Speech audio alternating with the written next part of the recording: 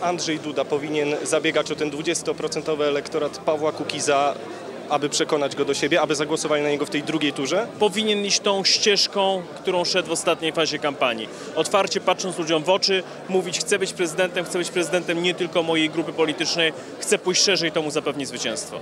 Myślę, że duża część wyborców Pawła Kukiza bez żadnego namawiania zagłosuje w drugiej turze na kandydata o nazwisku nie Komorowski, bo to jednak Bronisław Komorowski jest symbolem em, tej stagnacji i tego systemu, o którym mówi Paweł Kukiz. Natomiast oczywiście trzeba podjąć rozmowy z em, Pawłem Kukizem, szanując równocześnie jego dramat rodzinny.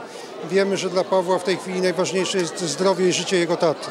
Liczę na to, że wyborcy Pawła Kukiza, ta najliczniejsza grupa spośród kandydatów, którzy nie wchodzą do drugiej tury, że e, ci wyborcy poprą w drugiej turze e, Andrzeja Dudę, bo oni w pierwszej turze opowiedzieli się za zmianami w Polsce.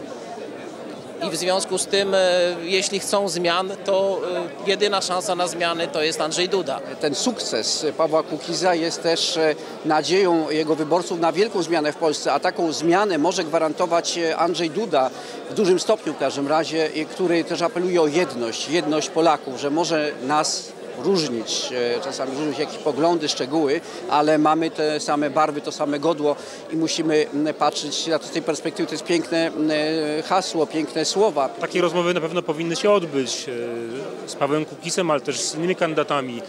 E, Trzeba pamiętać, że ci wszyscy kontrkandydaci to, byli, to były osoby, na które głosowali Polacy, którzy nie zgadzają się z obecnym systemem władzy w Polsce.